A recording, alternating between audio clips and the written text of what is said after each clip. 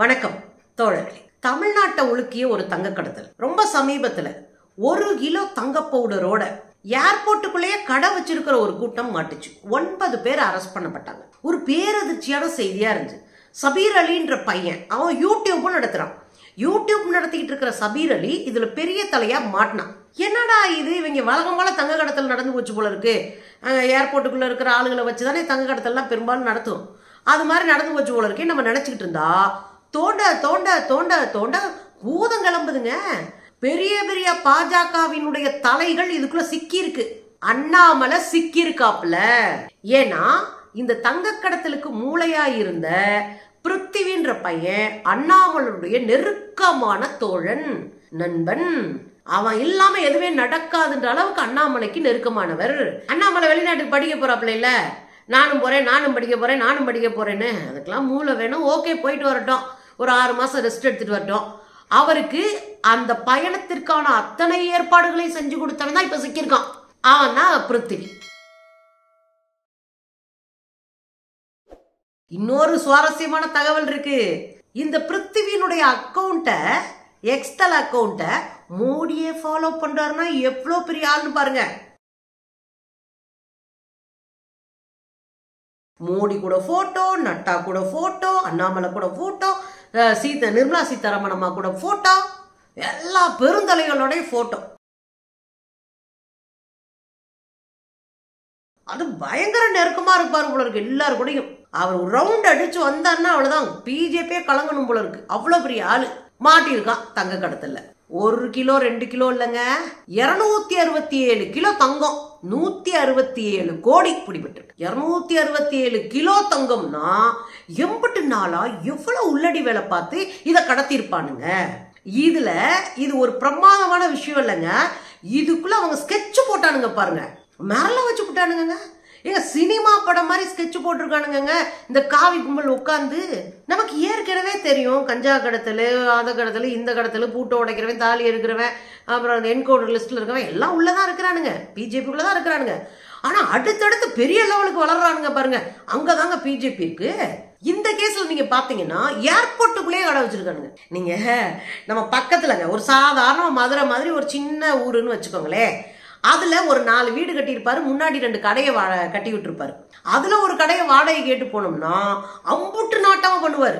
அதெல்லாம் ரெண்டு அஞ்சு லட்சம் கொடுங்க பத்து லட்சம் கொடுங்க மாசம் முப்பதாயிரம் கொடுங்க அப்படிலாம் கேட்டுட்டு இருப்பாங்க. ஒரு சாதாரணமாக ஒரு குக்கிராமத்தில் ஒரு சாதாரண சின்ன நகரங்களில் ஒரு கடை எடுக்கணும்னாலே அம்புட்டு ஆர்ப்பாட்டத்துக்கு இடையில தான் உசுரோ கொடுத்தா அதுக்கு நாலு ரெக்கமெண்டேஷனுக்கு ஆளை கூட்டிட்டு போய் எடுக்கணும். ஆனா ஏர்போர்ட்ல ஒரு கடை எடுக்கிறது நான் அப்படி சாதாரணமா? அப்ப யார் அந்த ஏர்போர்ட் கடை எடுத்து கொடுத்தது? அப்படின்னு பார்த்தா பிருத்திவி எடுத்து கொடுக்குற யாரெல்லாம் உடந்த ஏர்போர்ட்டினுடைய ஜெனரல் மேனேஜர் செல்வ விநாயகம் இதுக்கு ஓகே சொல்லியிருக்காரு. சிக்னாரா? ஏர்போர்ட்டினுடைய ஜெனரல் மேனேஜர் செல்வ விநாயகம். அவர் தான் இதுக்கு ஓகே சொல்லி கடை கொடுக்க வச்சிருக்காரு. ஏர்போர்ட்ல கடைகளை ஒதுக்குறதுக்குனே கான்ட்ராக்ட் எடுத்திருக்க ஒரு நிறுவனம் இருக்கு. அதுக்கு பேரு பிஆர்ஜி இந்த பிஆர்ஜி நிறுவனத்துல தான் இந்த பிருத்திவி வேலை பார்க்கறதா வெளிய பத்திரிகைகள் சொல்லிக்கிட்டு அலையுதுங்க. ஆனா நம்ம ஆளுங்க சும்மா விடுவாங்களா தோண்டி எடுத்தா பிஆர்ஜி அப்படின்ற இந்த நிறுவனம் மூன்று கூட்டாளிகளோடு தொடங்கப்பட்டிருக்கு. மூணு பார்ட்னரோட தொடங்கியிருக்காங்க. அதுல ஒரு பார்ட்னர் தான் இந்த ஆளு பிருத்திவி. ஏதோ பாவம் ஒரு பிஜேபியினுடைய மாணவர் அணியில ஒரு பொறுப்புல இருக்காரு மாநில அளவுல அப்படின்னு நினைச்சீங்கன்னா அது இல்ல. மிகப்பெரிய நிறுவனத்தினுடைய ஒன் ஆஃப் த பார்ட்னரா இருக்கிறாப்ல அந்த நிறுவனம் தான் ஏர்போர்ட்டுக்குள்ள அலாட் பண்ணுது கடை. அப்ப எவ்வளவு பெரிய செல்வாக்கான நிறுவனம்னு பாருங்க. இங்க பார்த்தா ஜெனரல் மேனேஜர் ஒதுக்குறாரு. இதை வச்சுக்கிட்டு யார் பேர்ல வைக்கிறானுங்க? இவன் மாட்ட மாட்டான். யார் பேரில்? சபீர் அலி பேரில் கடை. அவன் ஒரு யூடியூபு யூடியூப் ஒழுங்காக நடத்தினாலே கஞ்சியை குடிச்சிட்டு போயிருக்கலாம். அதை விட்டு விட்டு தேவையில்லாமல் இதுக்குள்ளே அது ஒரு சங்கி பீஸ் தான். அவன் உள்ளே வந்து கடையை தொடங்கி கிஃப்ட் பாக்ஸ் கிஃப்ட் எல்லாம் கொடுக்குற ஒரு கடை. பரிசு பொருள்கள் கொடுக்குற ஒரு கடையை ஆரம்பித்து ஒரு ஏழு பேரை அதில் வேலைக்கு போட்டான். இங்கே என்ன வேலை பண்ணியிருக்கானுங்க அப்படின்னா இந்த ஏழு பேர் இருக்கானுங்களே அவனுங்களுடைய வேலை கிஃப்ட் விற்கிறது கிடையாது. அங்கே இருக்கிற பொருளை விற்கிறது இல்லை கடத்தல் பொருளை வாங்கி கொண்டு வந்து கொடுக்கறது. சரி எப்படியா வாங்கினானுங்க? அப்படின்னா அயன் படத்துல வந்து பயங்கரமா கடத்துவாரு தெரியுங்களா சூர்யா? அதெல்லாம் பிச்சை எடுக்கணும். அவ்வளவு ஈஸியா கடத்தி இருந்திருக்கானுங்க ரொம்ப ஈஸியா. இந்த கடையை வாடகை எடுத்தாச்சா? இந்த கடை ஊழியர்கள் இருக்காங்களா அந்த ஏழு பேருக்கு? அவங்களுக்கு ஒரு ஸ்பெஷலான பாஸ் வாங்கி கொடுத்துருக்காங்க இந்த ஆள் தான் இந்த பிருத்திவி தான் பிசிஏஎஸ்ன்றாங்க அந்த பாஸை பிசிஏஎஸ் இந்த பாஸ் வச்சிருக்கிறவன் அந்த ஏர்போர்ட்ல எங்க வேணாலும் போகலாம். செக் பண்ணவே மாட்டாங்க. எங்க வேணாலும் போகலாம் வரலாம். அவங்க செக் செக் பண்ணவே மாட்டாங்க. அவங்களுடைய உடைமைகளை செக் பண்ண மாட்டாங்க. அவங்க பாட்டு போயிட்டு வருவாங்க. அப்போ ஒரு ஏர்போர்ட்டுக்குள்ள ஒரு கடை நடத்துற அந்த கடையினுடைய ஊழியர்களுக்கு இவ்வளவு முக்கியமான ஒரு பாசை இந்த ஏர்போர்ட்டினுடைய பாதுகாப்பை எல்லாம் மீறி ஒரு பாசை கொடுத்துருக்காங்கன்னா அது சாதாரணமாக நடக்கிறது இல்லை. அதுக்கும் காரணம் இவ்வளோ பெரிய ஆளுகளை தொடர்பில் வச்சிருக்கிற பிஜேபி காரனான பிருத்திவி தான் காரணம். அதனால முன்னாடி என்ன வேலை பார்த்திருக்கான்னு கேக்குறீங்களா? முன்னாள் ஒன்றிய சட்ட அமைச்சர் அர்ஜுன் ராம் மேக்வாலி அவருடைய உதவியாளராக இருக்கார். ஒரு அமைச்சருடைய உதவியாளராக இருந்தா எம்பிட்டு காசு ஆட்டை போட்டிருப்பான்.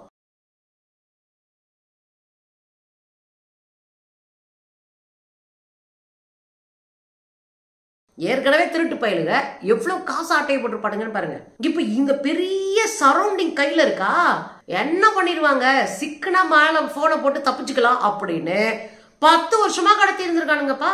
கடைய போட்டது இப்பதான். ஆனா இங்க தங்க கடத்துறதுக்கு பத்து வருஷமா ஈஸியா அந்த அங்க இங்கன்னு ஆளுகளை பிடிச்சி எளிமையா கடத்திருக்கானுங்க. இப்ப சிக்கனதான் இவ்வளவு கிலோ. இரநூத்தி அறுபத்தி ஏழு கிலோ. இதுல இன்னொரு வேலை என்னன்னா இவ்வளோ பெரிய கடை வைக்கிறதுக்கு இந்த தங்க கடத்தல் கும்பல் இருக்கும்ல அங்கங்க. இலங்கையில அங்க வெளியே இந்தியாக்குள்ள தமிழ்நாட்டுக்குள்ள இப்படி இருப்பானுங்கல்ல. அவனுங்கிட்டலாம் காசை வாங்கி வச்சிருந்திருக்கானு கடையை தொடங்கியிருக்கானுங்க. எப்படின்னு பாத்தீங்களா? க- தங்க கடத்தல்காரங்கிட்டே காசை வாங்கி அங்க ஒரு கடையை ஆரம்பிச்சிருக்கானுங்க. இதுல எப்படியா கடத்தினாங்கன்னா அது இன்னும் இன்ட்ரெஸ்டா இருக்கு. எப்படின்னா டிரான்சிட்ல வந்து உட்காருவாங்கல்ல பயணிகள். இந்த டிரான்சிட்ல உட்காருனா வேற ஒன்றும் இல்லைங்க. இப்போ நான் வந்து ஆப்பிரிக்கால இருக்கிற ஆப்பிரிக்கா கண்டத்தில் இருக்கிற செஷல் போறேன் செஷல்ன்றது அங்கே ஒரு சின்ன நாடு. அங்கே இந்தியர்கள் அதிகமாக இருக்காங்க. ஒரு தீவு நாடு அது. அங்கே காந்தி சிலையை கூட நான் பார்த்துருக்கேன். நாங்கள் பேச போனப்ப ரொம்ப அழகான நாடுன்னு வச்சுக்கோங்க. அங்க போகணும் அப்படின்னா டிரான்சிட் வழியா தான் போகணும். எப்படி? இங்க இருந்து இலங்கையில போய் உட்காந்துடணும். இலங்கையில இருந்து ஒரு ரெண்டு மணி நேரம் மூணு மணி நேரம் வெயிட் பண்ணணும். இன்னொரு ஃப்ளைட்டுக்காக வெயிட் பண்ணி வர்ற இன்னொரு ஃப்ளைட்ல ஏறி நம்ம போய் அங்க செஷன்ல இறங்கணும். புரியுதுங்களா? இன்னொரு ஃப்ளைட்டுக்காக வெயிட் பண்றோமா? அதுதாங்க டிரான்சிட் நம்ம டிரான்ஸ்ஃபர் இன்னொரு ஃப்ளைட்டுக்கு டிரான்ஸ்ஃபர் ஆகுறதுக்கு உட்காந்து காத்திருக்கோம்ல அதுக்கு பேர் டிரான்சிட்னு பேர். சரிங்களா? இப்போ நான் வெளியில இருந்து வந்துடுறேன். சேஃபாக பணம் எல்லாத்தையும் கொண்டு வந்துடுறேன்னு வச்சுக்கோ என் போ என் பொருள் எல்லாம் செக்அப் பண்ண மாட்டாங்க. டிரான்சிட்டில் செக்அப் பண்ண மாட்டாங்க.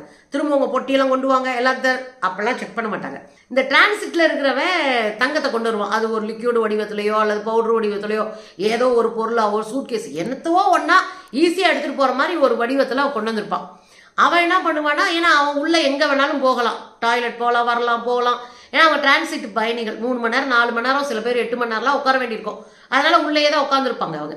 ஸோ அவங்க டாய்லெட்டில் கொண்டு போய் எந்த நம்ம டாய்லெட்டு எங்கே எப்படி வச்சுருக்கேன்னு சொல்லிடுவாங்க அவங்க சொல்லி வச்சுட்டு போன பிறகு இந்த ஊழியர்கள் அங்கே போகிறாங்க போய் அந்த டாய்லெட்டில் இருக்கிற பொருளை எடுத்துக்கிட்டு அவங்க ஏரியா கொண்டு வந்துருவாங்க.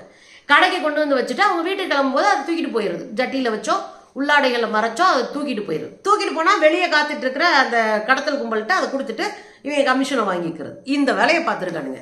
இவ்வளோ டாக்டிஸாக இருந்திருக்கானுங்க பாருங்கள் டிரான்சிட்ல ஒருத்தரை வர வச்சு அவங்க மூலமா வந்து தங்கத்தை ஈஸியா எடுத்து அவங்க மூலமா டாய்லெட் கொண்டு போய் வைக்க சொல்லி இந்த இங்க வேலை பார்க்குற பசங்களை வச்சு அதை எடுக்க சொல்லி ஈஸியா உள்ளாடைக்குள்ளே உள்ளாடைக்குள்ள வச்சு அங்க கொண்டு போய் கொடுத்துறானுங்க. இதுல என்ன சிக்கல் எப்ப மாட்டுறாங்க அப்படின்னா ஒரு கடைக்கார பையன் திரு திரு முழிச்சிட்டு இருந்திருக்கான். அவனை பார்த்துட்டு போலீஸ்காரங்க இங்க சுங்கத்துறை அதிகாரிகள் கொஞ்சம் கவனமாக இவங்களை கண்காணிக்கணுமே. கொஞ்ச நாளாகவே ஒரு மாதிரி திருறாங்க இந்த பயலுக அப்படின்னு இவங்களுக்கே தெரியாமல் சுங்கத்துறை அதிகாரிகள் இந்த கடையை நோட்டம் போடுறாங்க. இந்த பசங்களை ஃபாலோ பண்ணுறாங்க அப்படி ஃபாலோ பண்ணும்போது தான் இவன் சிக்கிறான். புரியுதுங்களா உங்களுக்கு? நீங்கள் ஒரு சினிமா பார்த்த கதையாக இருக்குங்க இதை நான் படிக்க படிக்க நொந்து நூடுல்ஸ் ஆயிட்டேன். இதில் என்ன ஆகி போச்சுன்னா சிக்கிட்டானுங்களா? ஒம்பது பேர் அரெஸ்ட்டு எல்லாரும் விசாரணை வளையத்துக்குள்ள அண்ணாமலவா? விசாரணை வளையத்துக்குள்ள. எல்லாரும் விசாரணை வளையத்துக்குள்ள. நான் கேட்குறேன் ஊர்ல ஏதாவது ஒண்ணு நடந்துச்சுன்னா மைக்க போட்டு கதறிய? அண்ணாமலை உன் நண்பன் உனக்கு காசு கொடுத்தவன் உனக்கு பங்கு கொடுத்தவன் சிக்கியிருக்கானே? இது குறித்து பேசு. நான் இந்த தமிழ்நாட்டையே தூய்மைப்படுத்த வந்த தூயவன். கையை காமிச்சு நிக்கிறீல்ல? உன் தூய்மை தான் ஊரஞ்ச தூய்மை இல்ல? அதுதான் காலி பண்றாரே காரி துப்புறானே கூட இருந்த ஒரு பையன் திருச்சி சூர்யா.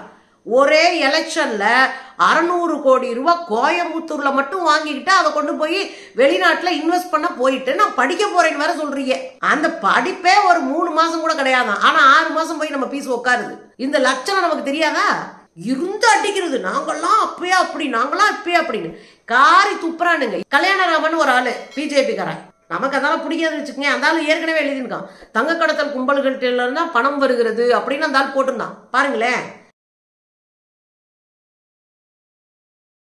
போட்டிருக்கிறாந்தாலே? அன்னைக்கே அவங்க பேச ஆரம்பிச்சிட்டாங்க. தங்க கடத்தல் கும்பல்கிட்ட எல்லாம் நீங்க உள்ள உள் வேலை பார்த்துக்கிட்டு காசை வாங்கி தர்றாங்கன்னு. இந்த வார் ரூமுடைய வேலையே இங்கே இருக்கிற பெரிய தலைவர்கள்ட்ட அப்புறம் கடத்தல்காரங்க கிட்ட கொள்ளக்காரங்கிட்டலாம் மிரட்டி மிரட்டி காசு வாங்குறதா வேலை அப்படின்னு. ஆட்சிக்கு வரல. ஒரு வார்டு மெம்பராக வர வக்கில்ல.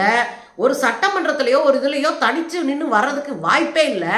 ஆனால் இந்த கும்பல் தான் நாட்டை காப்பாத்துறோன்னு சொல்லிக்கிட்டு ஊரை மொத்தமாக கொள்ளையடிச்சு பாக்கெட்டில் போட்டிருக்காங்க. பொறுப்புக்கே வராம இந்த சுரண்டி தின்ற கும்பலை ஒரு கும்பலை ஆராதிச்சுக்கிட்டு இருக்கு மூலகட்டத்தனமா? இன்னொரு விஷயம் என்ன தெரியுங்களா? இந்த நம்ம போடுதாசு காரி துப்பிருக்காப்ல ரெடி அந்த கட்சிக்காக அவ்வளோ உழைச்சோம். நேற்று நேரம் வந்து திருட்டு பையங்களையெல்லாம் உள்ளே விட்டுட்டு இந்த ஆள் ஆடிட்டு இருக்கான். கட்சிக்காக உழைச்சவங்க சித்தாந்தத்துக்காக தெளிவடைஞ்சவங்க எல்லாம் நொந்து போய் உட்காந்துருக்கோம் ஏன்னா அந்த ஆள் எழுதுறான். புரியுதுங்களா? இதையெல்லாம் ஏற்கனவே காவி கும்பலுக்குள்ளேயே சொல்லியிருக்கானுங்க. கல்யாணராமனா இருக்கட்டும் போடுதாசா இருக்கட்டும் சு- திருச்சி சூர்யாவா இருக்கட்டும் எல்லாருமே ஏற்கனவே சொன்னானுங்க. நம்ம கூட ஏதோ சண்டையில சொல்லிட்டுறாங்க போங்கடா டே அப்படின்ட்டு போனோம். ஆனா அதுதான் உண்மையா இருக்கு. இப்போ விசாரணை வளையத்துக்குள்ள அண்ணாமலை வந்துட்டாப்ல. அண்ணாமலை ஒன்றும் யோகியம்லாம் கிடையாது. ஆருத்ரா கோல்டு நிறுவனத்துக்கிட்ட கோடி கணக்கில் கொள்ளையடிச்சு பாக்கெட்ல போட்டு போன பல்ல காமிச்சு ஒரு பீஸ் தான். ஆருத்ரா கோல்டுகிட்டே பதினாலு கோடி ரூபாயை வாங்கி உனக்கு நான் சால்வ் பண்ணி விடுறேன்னு சொன்னேன் ஆர்கே சுரேஷ். கட்டி பிடிச்சி உமா கொடுத்தாரு அண்ணாமலைக்கு. அந்த ஆர்கே சுரேஷோட நண்பே. அப்புறம் என்ன? திருட்டு பயலுங்க திருட்டு பயல்களோட சேர்றாங்க.